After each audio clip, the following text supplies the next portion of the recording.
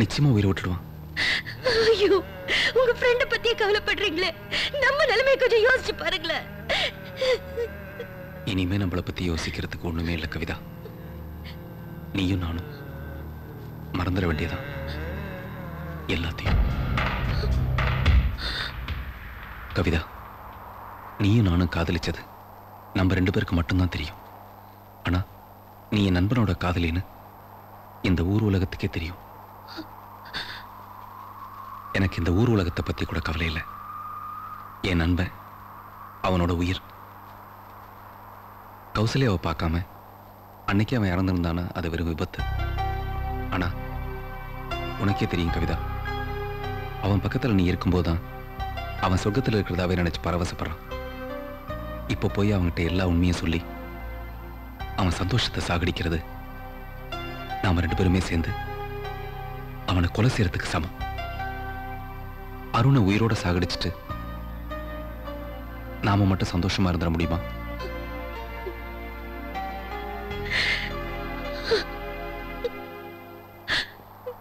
யோசிச்சு பாரு கவிதா. பல பேருடைய உயிரை காப்பாத்துற புனிதமான தொழில இருக்கிற என் நண்பன் உயிரோட இருக்கணும்னா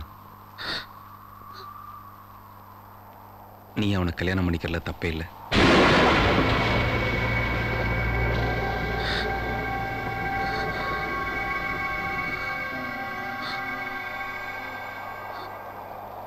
அதை மீறி சுயநலமா நாம என்ன முடிவெடுத்தாலும் அது அது எல்லாத்தையும் பாதிக்கத்தான் செய்யும். ஸோ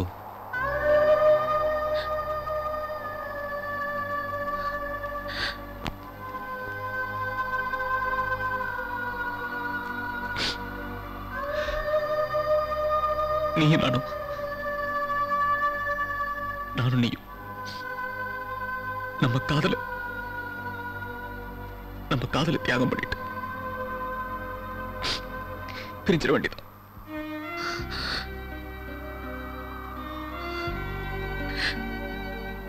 நீ என்ன மறந்துடணும்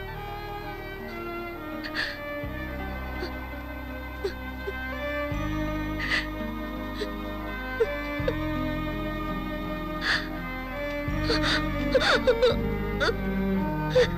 ha!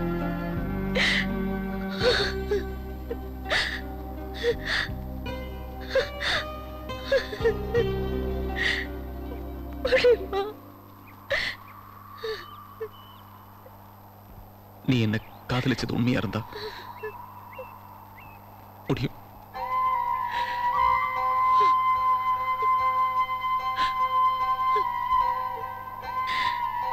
உங்களால என்ன மறக்க முடியுமா?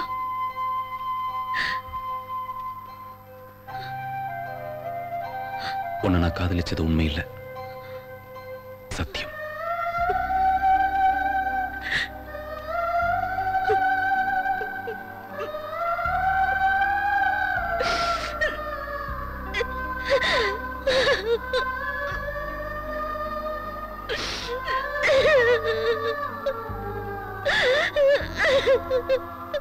வாப்பா வா உனக்காகத்தான் எல்லாரும் காத்துட்டு இருக்காங்க என்ன தாத்தா இதெல்லாம்? என்னப்பா இது?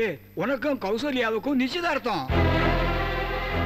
சஸ்பென்ஸா இருக்கட்டும் சொல்லிதான் உங்ககிட்ட சொல்லாம எல்லா ஏற்பாடுகளும் பண்ணிட்டோம். சந்தோஷம் தானே பாப்பா அருண் சீக்கிரமா ட்ரெஸ் மாத்திக்க எல்லாரும் காத்துட்டு இருக்காங்க அப்பா யாரை கேட்டு இந்த நிச்சயதார்த்தத்துக்கு ஏற்பாடு பண்ணீங்க? ஐயர் தான் கேட்டோம். நல்ல நாள் நிறைய. தயவு செய்து நிறுத்துங்க. இந்த நிச்சயதார்த்தத்தை நிறுத்துங்க ப்ளீஸ் ஏன்பா என்னாச்சு? அப்பா எனக்கும் அன்புக்கும் ஒரே நாள்ல ஒரே மேடையில கல்யாணத்தை நடத்தணும்னு முடிவு பண்ணியிருக்கோம். அப்படி இருக்கும்போது எனக்கு மட்டும் நிச்சயதார்த்தம் நடத்துறதுல எனக்கு உடன்பாடு இல்லப்பா. வாட் இஸ் இஸ் மாப்பிள்ள? அநியாயமா சொல்றீங்க. உங்களுக்கு வேணா உங்க ஃப்ரெண்ட்ஷிப் முக்கியமா இருக்கலாம். ஆனா எனக்கு என் பொண்ணுடைய வாழ்க்கை முக்கியம் இல்லையா? எவ்வளவு நாள் தான் வயசுக்கு வந்த பொண்ணு உங்க வீட்டுல உட்கார வைக்கிறது? ஊர்ல நாலு பேர் நாலு விதமா சொல்ல மாட்டாங்க. நாலு பேர் நாலு விதமா ரெண்டு விதமா பேசுறதுக்குள்ள தட்டை மாத்திட்டு கல்யாணத்துக்கு ஏற்பாடு பண்ணுங்க. அப்படி இல்லைன்னா பொண்ணு அனுப்பிச்சு வைங்க ஊருக்கு கூப்பிட்டு போறேன். ப்ளீஸ் சார் நான் சொல்றதை கேளுங்க. நீ என்ன சொல்றது உனக்கு கேக்குறது? எல்லாம் உன்னால வந்ததா சும்மா இருந்த மாப்பிள்ளை கிட்ட பேசி பேசி ஒரு மனசை மாத்தி விட்டேன் அநியாயமா உன் சுயநலத்துக்காக என் பொண்ணு வாழ்க்கை கெடுத்துறாத. நான் uncle. எனக்கும் அன்புக்குள்ள ஃப்ரெண்ட்ஷிப்பை பத்தி உங்களுக்கு என்ன தெரியும்? டே அருண். அது எதுக்கு அவருக்கு புரியணும்? முதல்ல அவர் சொல்றதுல இருக்க நியாயம் உனக்கு வா. நியாயம். வாடா. எங்கடா? எனக்காக ஏன்டா நிச்சயதார்த்தத்தை நிறுத்தணும்? என்னடா அது? நீயே என்ன புரிஞ்சுக்காம பேசுறீங்க? நானே உன் ஆளு கவிதாவை தேடி அலைஞ்சிட்டு இருக்கேன். இந்த நேரத்துல போய் நிச்சயதார்த்தம் அது இதுன்னு சொன்னா? நீ இனிமே கவிதாவை தேடி அலைய வேண்டாம். நானே கவிதாவோட அட்ரஸை கண்டுபிடிச்சிட்டேன். ஆனா ஒரு முக்கியமான விஷயமா அவங்க அப்பா அம்மா கூட வெளியூர் போயிருக்கா. நாளைக்கே வந்துருவா. நம்ம ரெண்டு பேரும் அவங்க வீட்டுக்கு போய் அவங்க அப்பா அம்மா கிட்ட பேசி கன்வின்ஸ் பண்ணி என் கல்யாணத்துக்கு நிச்சயம் சம்மதம் வாங்கிடலாம். இவ்வளவு சந்தோஷமான விஷயத்தை என்கிட்ட ஏன்டா முன்னாடியே சொல்லல? என் கல்யாணம் நிச்சயம். முதல்ல உன் நிச்சயதார்த்தம் முடியட்டுமேன்னு ஆசைப்பட்டேன். அதுங்களே நீ அவசரப்பட்ட. அருண் கூடத்துல ஊரையே கூப்பிட்டு உட்கார வச்சிருக்கேன். இந்த நேரத்துல நிச்சயதார்த்தம் வேணாங்கிறது கொஞ்சம் கூட நல்லா இல்ல. நம்ம குடும்பத்துக்குன்னு ஒரு மானம் கௌரவம் எல்லாம் இருக்கு. மானம் கௌரவம் மட்டும் இல்ல. பட்டு வெட்டி பட்டு சட்டை கூடவே அங்கவசரமும் இருக்கு. போட்டுட்டு கிளம்புங்க மாப்பிள்ளை அப்படின்னா? ஆமாப்பா. அன்பு எல்லாத்தையும் புரிய வச்சுட்டான். ஓ. யூ கேரி ஆன் சீக்கிரம் பொண்ணை வர சொல்லுங்க.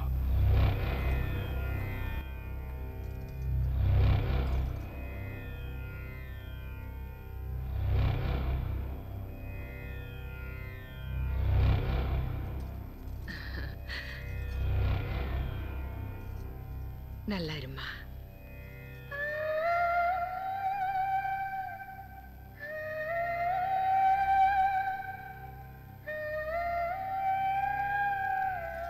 முகூர்த்த பத்திரிகை படிங்க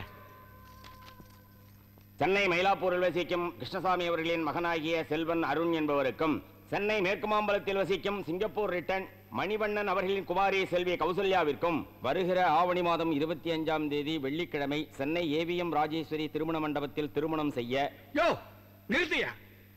யாரை கேட்டு கல்யாண மண்டபத்தை ஃபிக்ஸ் பண்ணீங்க? அதானே? என்னப்பா சொல்றீங்க? டேய் என் பேரன் பிறந்த உடனே திருப்பதி தேவஸ்தானத்துல தான் அவன் கல்யாணத்தை நடத்தணும்னு நானும் என் பொண்டாட்டியை ஃபிக்ஸ் பண்ணிட்டோம். எதே? திருப்பதி தேவாசனத்திலயா எல்லாத்தையும் கூட்டி போய் மொட்டை அடிக்கணும்னு நினைக்கிறீங்களா சும்மாறா அப்பாவது டப்பாவது என் பேத்தி பிறந்த உடனே சாந்தோம் சர்ச்சில் தான் கல்யாணம் பண்ணணும்னு நானும் என் பொண்டாட்டியும் அப்பவே முடிவு பண்ணியிருக்கோம் டேய் என்னடா பொண்ணு வீட்டுக்காரங்க திடீர்னு குண்டை தூக்கி போடுறாங்க குண்டெல்லாம் தூக்கி போடல உண்மையை தான் சொல்றோம் அப்பா keep quiet. ஏங்க நீங்க கிறிஸ்துவங்கிற உண்மையை சொல்லவே இல்ல அதுல வந்து நான் சொல்ல வந்தேன் அது பணக்கார சம்பந்தம் கிடைச்ச உடனே ஜாதி மதத்தை கூட மறைச்சவங்க இன்னும் என்னென்னத்த மறைச்சிருக்காங்களோ? இன்னும் என்னங்க அந்த ஆளோட பேச்சு? அப்பங்காரன் ஃப்ராடு பண்ணிருக்கான்னு தெரிஞ்சிருந்தோம் அதை வெளியில சொல்லாம மறைச்சிருக்காளே அப்ப இவ்வளவு ஒரு ஃப்ராடு தானே?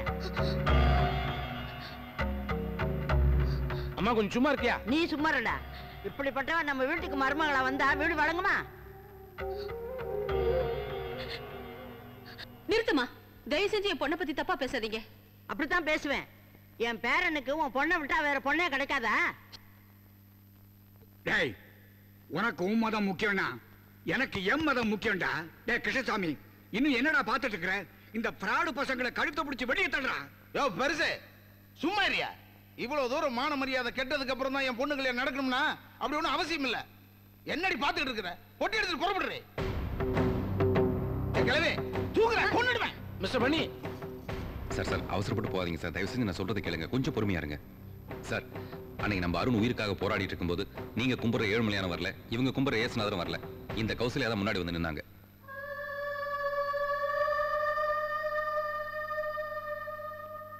அதுக்கப்புறம் தான் அருண் உயிர் படைச்சான் அன்னைக்கு நீங்க இந்த ஜாதி மதம் குலம் கோத்திரம்லாம் கேட்டிருந்தீங்கன்னா இன்னைக்கு நம்ம அருணை உயிரோடவே பார்த்துருக்க முடியாது.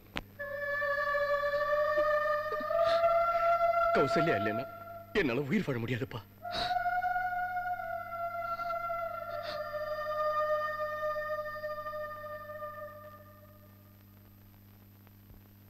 சமந்தி மனுஷங்களுக்காக தான் மதங்க. மதங்களுக்காக மனுஷங்க இல்ல. எங்களுக்கு எல்லாத்தையும் விட எங்க பையன் மனசு தான் முக்கியம். என்ன உங்க அப்பா அம்மா கொஞ்சம் தப்பா பேசி டென்ஷன் ஆக்கிட்டாங்க. அதனால நான் ஏதோ தப்பா பேசியிருந்தா ஐம் சாரி சம்பந்தி ஏ அது ஊரா அந்த சர்ச்சிடா.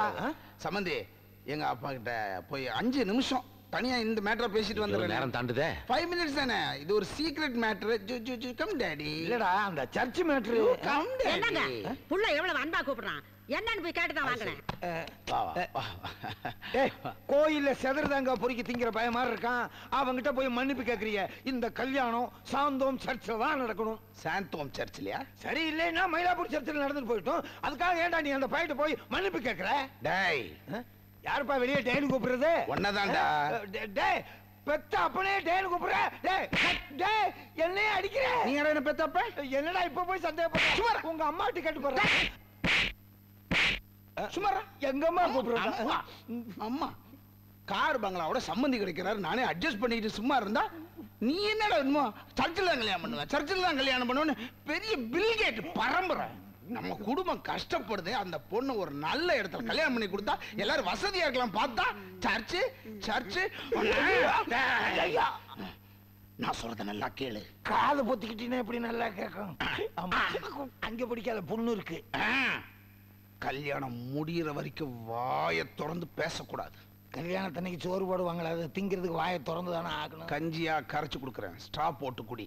நல்ல வேலை குளுக்கோஸ் மாதிரி டியூப்ல கொடுக்காம விட்டிய என்ன மகன பண்றேன் இல்ல அடிபட்டது வெளியே தெரியக்கூடாது டாடி. உமா குத்து குத்து விட்டு அப்புறம் கரெக்ட் பண்றேன் டேய்? எல்லாம் ஓகே. டேன்னு சொல்லாதடா ரொம்ப அசிங்கமா இருக்கு. சரிடா. இதுக்கு அது பரவாயில்ல. வாடா. என்ன பேசிட்டீங்களா?